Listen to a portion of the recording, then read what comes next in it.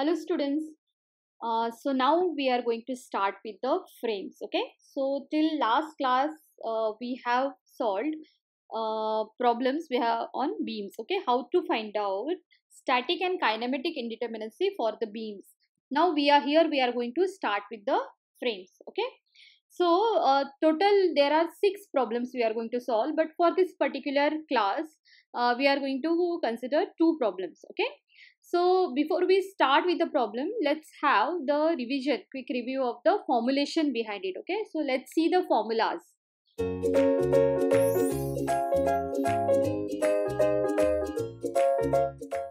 So let's revise the formula. Okay, degree of static indeterminacy or degree of redundancy for frames. What is the formula? That is ds is equal to ds means degree of static indeterminacy is equal to 3m plus r minus 3j minus h okay? Where m is the number of members r is number of unknown reactions and h is internal hinge and j is number of joints okay? How many joints are there? That is also we are going to count. The degree of kinematic indeterminacy or degree of freedom remains the same like beam okay? That is 3j minus r plus h. So what are the number of joints? Number of and r is number of unknown reactions and internal hinges okay so these are the two formulas uh, we need. So let's consider two frames. Frame here.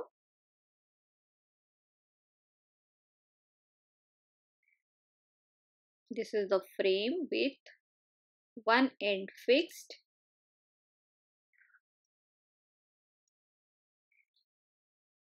and other end hinged. Okay and there are two internal hinges over here. It is also having two internal hinges.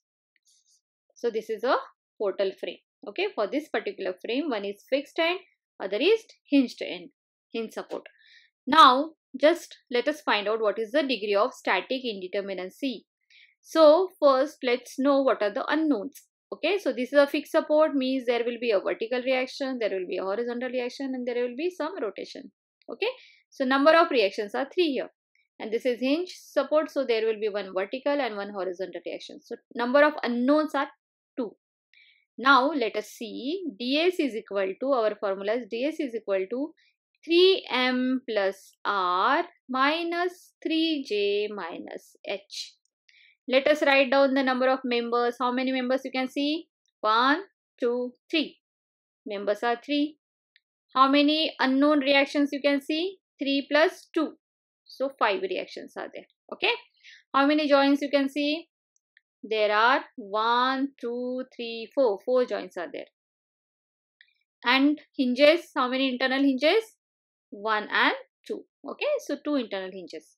So now simply substitute all the values. ds is equal to 3 into 3 plus 5 minus 3 into 4 minus 2.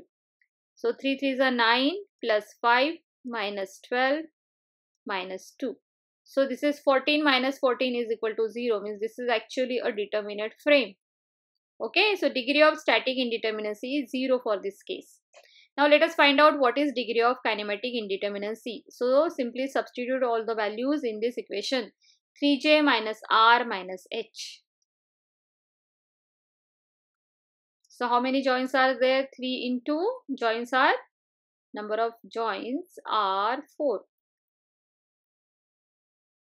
minus unknown reactions are 5 minus internal hinges are 2. So 12 minus 7, 12 minus 7 is 5. Okay. Therefore, dk value is 5. Degree of kinematic indeterminacy or degree of freedom is 5. Okay. So this is one example we have considered. Now let us consider one more similar example. So in this case the change is it is a frame similar frame with change of supports. Supports are fixed here. And there is a internal hinge in the middle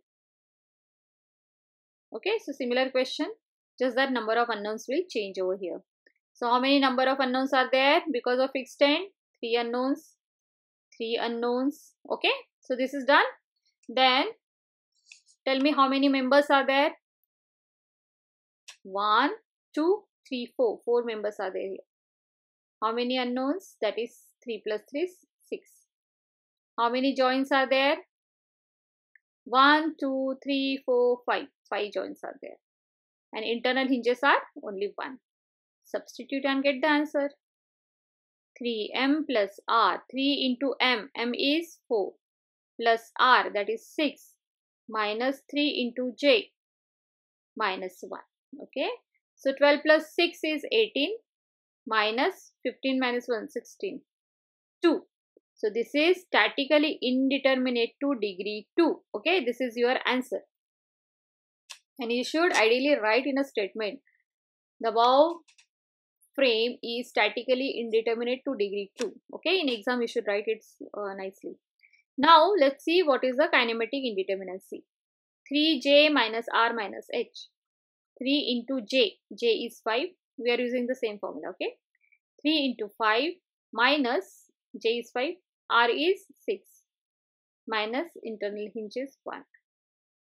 So 15 minus 7. So kinematic indeterminacy or degree of freedom is answer is 8. Okay. So these are the two frame equations, uh, two problems we have seen here and uh, you remember these two important formulas. Okay. So students hope you understood this uh, uh, particular two problems. Thanks for listening and we are going to solve uh, more problems in uh, next class.